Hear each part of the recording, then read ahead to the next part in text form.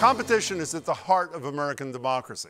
Two or more parties are supposed to go head to head before the public to hold each other accountable.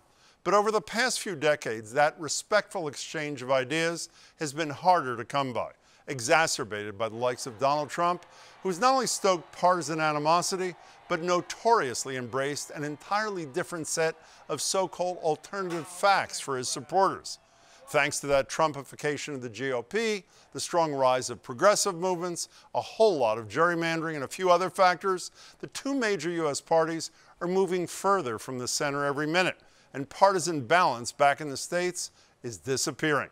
That includes here in Massachusetts, one of only 12 states where one party controls the legislature and the other the corner office. I'll do the math for you.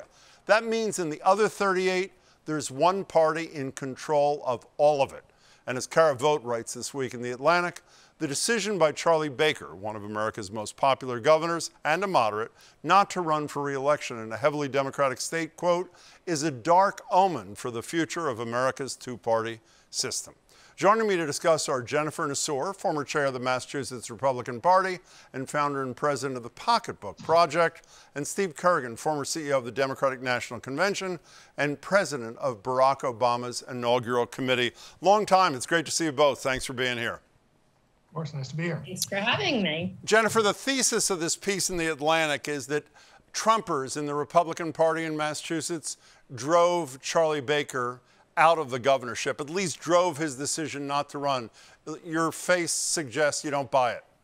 Uh, no, I don't buy it at all. I, listen, Charlie Baker has been governor for seven years now, and at some point, it's time to you know go on, move on, and do something else. He started with Snowmageddon, where we had snowstorms almost every single We day, and, and he's ending now in his time as being governor through an, a pandemic, a worldwide pandemic that has taken Massachusetts two years to move out of. So I would say at this point, he's probably exhausted. His family is exhausted, and he's still young enough to go on and have another chapter in his career. But Jennifer, even if everything you say is true, what's also true is in a poll at the end of last year, three quarters of Republicans in your party in Massachusetts said they were loyal to Trump. 68% of Republicans in this state said that Joe Biden was not the legitimate president of the United States. Could Charlie Baker have even won a primary in that party? Absolutely. Charlie Baker would not only win a primary, but he would win the governor's office again. So, I mean, look, a poll is a poll, and who's answering those polls? Because I don't know about you, but I don't have enough time to answer those polls. I don't know if Steve has enough time to answer. He answer does. those. Steve does. He has plenty of time. he has plenty of Thanks, time.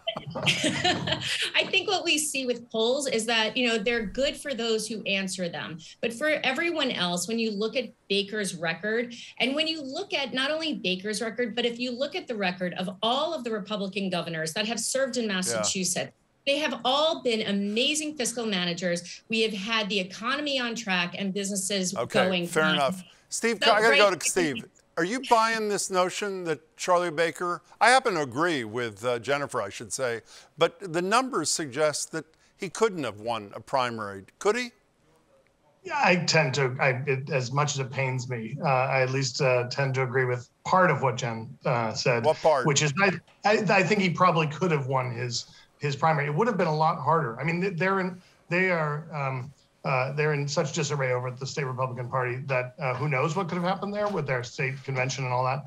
Um, but I think he would have been able to find a way to uh, to eke out the nomination. I do not think if uh, Maura Healey had been on the ballot against him, uh, that it would have been a lead pipe cinch that he'd get a third term. Uh, but it would have been a fun campaign to watch. Well, but I think the reality, Steve, staying with you, is the polls suggest, and I think reality suggests, may change by the fall, is that with Baker out of the race, it's much more likely that this does become a one party state, like suggested in the Atlantic. It would be a one party Democratic state. Does that trouble you at all in terms of small d democracy? Not the capital D, but small d, Steve? Uh, No, because I think, look, regardless of your party, the governor has a responsibility to sell their agenda to the people of the Commonwealth and to the legislature. And, and there's always been a healthy tension between um, uh, the governor's office and the legislature, regardless of the party of, of either. And, uh, you know, we saw it during Deval Patrick's um, uh, administration, there was constantly uh, they were at loggerheads, but they got a lot of really great things done. Um, it happened during uh, Dukakis. I mean, Dukakis was primaried by a, a Democrat and lost the office and came back. I mean, so there's there's always that tension. This is really about leadership and not partisanship. But when, Steve, when the Steve, there were over. three felonious Democratic speakers in a row. And my thesis is that wouldn't have happened had there been more balance in state government, whether within the legislature itself. Is that not a fair conclusion to reach? So, look, I have said many times, and to the consternation of many of my Democratic friends, that probably the best thing for little d democracy and the big D Democratic Party would be a stronger Republican Party in Massachusetts.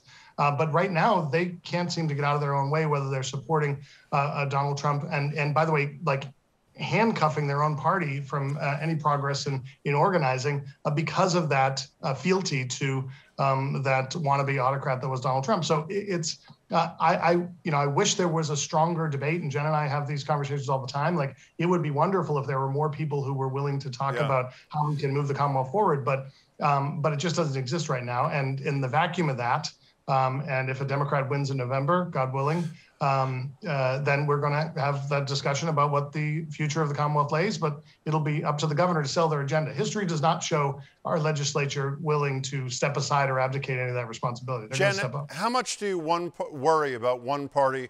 Not how much do you worry? How much should voters worry, if at all, about one party rule in Massachusetts? Steve's right about Deval Patrick's governorship. It wasn't a walkover for him and this legislature. In some ways, I got the sense they resented the fact that the spotlight was redirected to the Democratic governor and away from the Speaker and the Senate President. So, how much concern would you have about an all Democratic uh, governing body in Massachusetts? I have a lot of concern about it because going back to your point of small d democracy, the most important thing I think for all of us should be democracy, making sure that the that we have a balance of power, making sure that the best people are elected to office. Now, I don't agree that it's the mass I don't agree that mass Republicans are in disarray. The Massachusetts Republican Party I have a lot of things to say, but I can't say them on air because they're not appropriate. Um, so, you know, but I, what I will say is that we need to separate that apparatus from the actual voters. And I also would like to point out that 57% of voters in Massachusetts actually consider themselves unenrolled. So if those Right, voters true. actually wanted to have themselves vote all the time for Democrats, if they wanted Democrats in office all the time, they would be Democrats because clearly that's you know where the cool Well, kids are. You know, right? Jen, if I may, So- just one second. so- Jen, you- when you say the De- Republican Party itself, the members are not in disarray, the reason they're not dis- in disarray is because there aren't any members of the Republican Party. I mean, let me run some statistics by you 10% of registered voters, 10% are Republicans. Only 31 out of uh, uh, 200 seats in the legislature held by Republicans. And the guy who's the chair of the Republican Party doesn't condemn uh, homophobia, endorses an anti Asian candidate, has uh, uh, financial, I don't mean personal, but organizational financial problems, and trashes the most popular Republican governor in America. So the future of Republicans intra-state is miserable, is it not? No, because I don't think that. Because I think if you look at the candidates that we do have out right now, if you look at Anthony Amore, Auditor. who is who's running for auditor, he is very strong, very smart, and he is very professional. If you look at Chris Doughty, who's running for governor, forget about the other people and the other things that are being said. Again, businessman, really smart fiscal acumen. I think that that's what Massachusetts really wants and likes. That's what our Before I get like. to Steve, you I mentioned Doughty, and you didn't mention Geoff Diehl, who obviously is at the moment the leading Republican candidate who chaired Trump's campaign. And I don't know if he's for Trump or against. I don't know where he is now. Here's Doughty with Adam Reilly on Talking Politics. Uh, listen to what he had to say.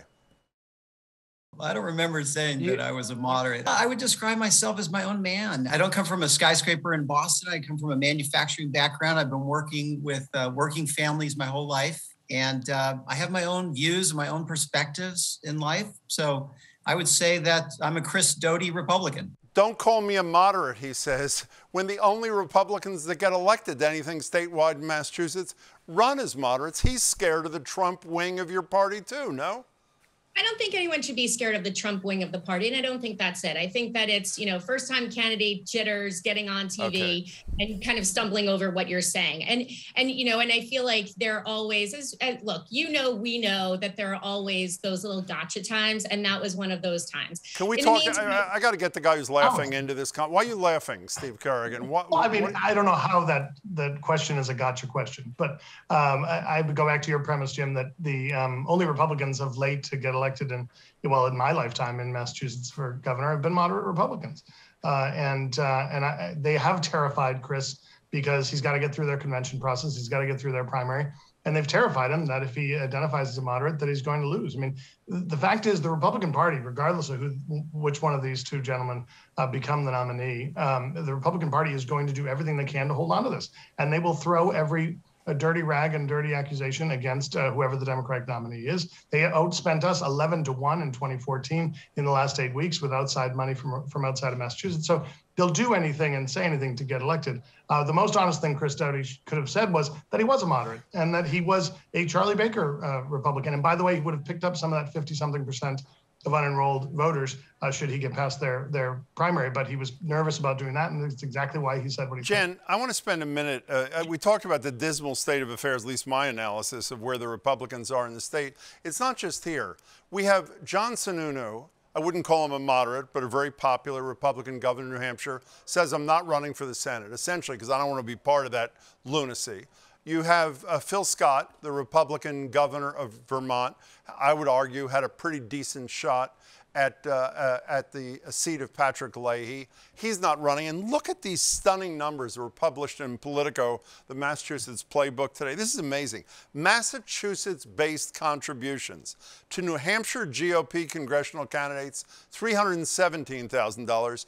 To Massachusetts GOP congressional candidates, a third that much, 128,000. By the way, two of the candidates running against Jake Auchincloss, who got some of that money, aren't even running anymore. So this is a disaster for the Republican Party in the Northeast, is it not? So no, because I think that now, by the way, it's Chris Sununu, not John Sununu. Oh, I'm sorry, Chris Sununu, of course. That's okay. It's a whole long a lot of Sununu's. there, right? Um, but it, I mean, look, you know, at the end of the day, you know, Governor Sununu has a young family. Going to Washington D.C. might not be what he wants to do. Washington, D.C., I think we could all agree it's a mess. If you're a Democrat, you can't agree with the progressive BS that goes on on the AOC wing of, of the party. And so I think that regardless of what party you're in, Washington, D.C. is a mess for both parties. And you have to think twice about whether you want to leave your state that you love and go to DC and go into the swamp and deal with everyone. That's number one. Number two, I don't think that you sound like Joe Biden. Number one, number two. Go ahead. That's yeah, good. It's a little bipartisan thing. I don't, I don't, have, I don't have a teleprompter or notes in front but of I'm my bummed. face. Thank you very much. Go ahead. Finish up. I'm sorry. Republican uses a teleprompter.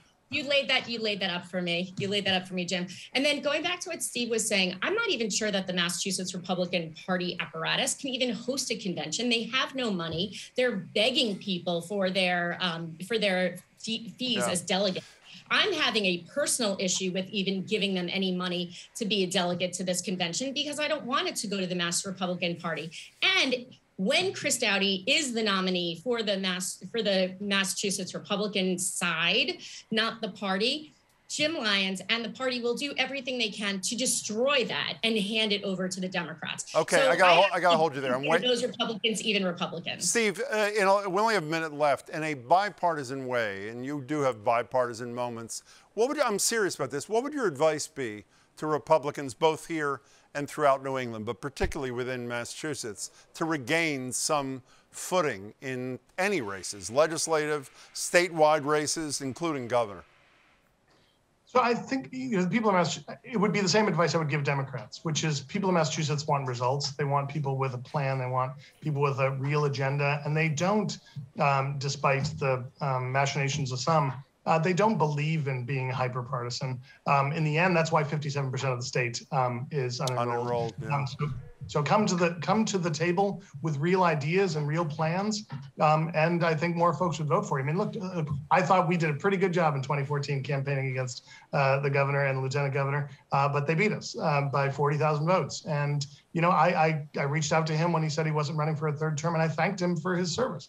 Uh, because he, I know what it takes and what it did for him and his family uh, to serve us, and I want to thank him again here. Um, it is, uh, it is not an easy thing to do, um, but I, I, did I agree with him on everything? Absolutely not. But I do um, I do appreciate his willingness to serve the Commonwealth, uh, and I wish him well in what he does next. Steve Kerrigan, Jennifer Nassour, it's great to see you both. Thanks so much for your time. Thanks, Thank. Jim. Thanks.